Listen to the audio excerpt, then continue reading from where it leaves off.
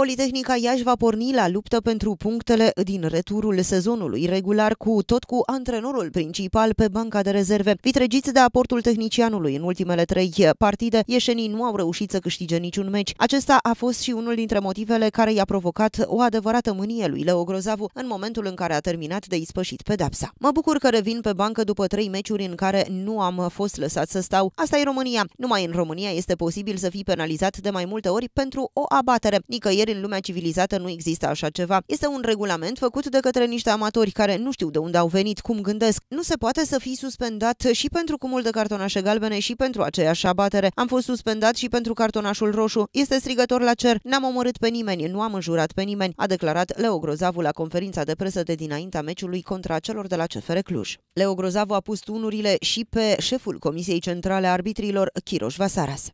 Acest domn Vasaras ne spune să stăm pe bancă. Cum să stăm pe bancă? Avem și noi trăirile noastre. Nu avem voie să vorbim, să dăm din mâini. Suntem la pușcărie, numai acolo ți se impun niște reguli, a declarat Leo Grozavu. Nici arbitrul Andrei Chivulete nu a scăpat de furia antrenorului Politehnicii Iași. Eu nu am făcut nimic la acel meci. Arbitrul a venit cu galben de la 30 de metri. Știam că suspendat și am zis, lasă-mă, domnule, în pace. Asta a fost tot ceea ce i-am spus. Când s-a apropiat, mi-a dat direct roșu. Iar în raport a spus că am confruntat arbitrul arbitrul, nu știu în ce fel, că am părăsit spațiul tehnic. Nu e adevărat. Este cuvântul cuiva împotriva cuvântului cuiva. Eu cum să mă apăr? A afirmat Leo Grozavu. În cele trei etape, fără Leo Grozavu pe banca tehnică, ieșenii de la Politehnica au obținut trei egaluri în compania lui FCU 1948 Craiova, Dinamo București și Oțelul Galați.